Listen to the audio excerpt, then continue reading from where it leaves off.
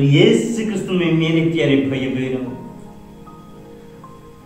आज के पवित्र सुसमाचार में ईसा मसीह हम सबों से एक सवाल पूछते हैं क्या आप ईश्वर को कुछ देते हैं आप देते तो है पर सब कुछ देते हैं ये पूरे के पूरे ईश्वर के लिए समर्पित करने के लिए अपने आप को तैयार करते हैं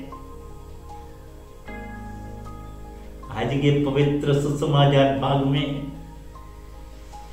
बेथानिया के भोज में बैठे हुए ईसा मसीह के समक्ष एक महिला आ जाते हैं उन्होंने एक बहुमूल्य इत्र लेकर ईसा मसीह के सिर में उड़ेल देते हैं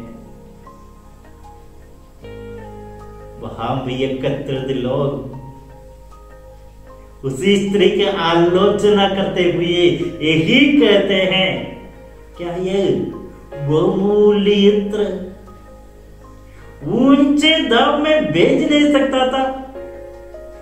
क्या इसी के पैसा लेके गरीबों का सेवा नहीं कर सकता था? या कोई अन्य सेवा कार्य में इसी का पैसा नहीं लगा सकता था? या इन सब सवालों से ही पता चल जाते हैं कि वो इत्र बहुमूल्य है। यानी कि इसी महिला का एक साल के या दो साल का पूरे के पूरे कमाई उस इत्र को खरीदने में लगा हुआ है।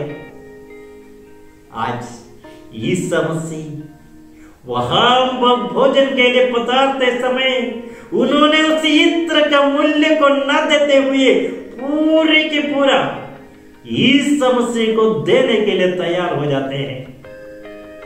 यानी कि पवित्र वचन हमसे कहते हैं कि संगमरमर के पात्र में इत्र लेकर पूरे के पूरा उनके सिर में उडेल दिया।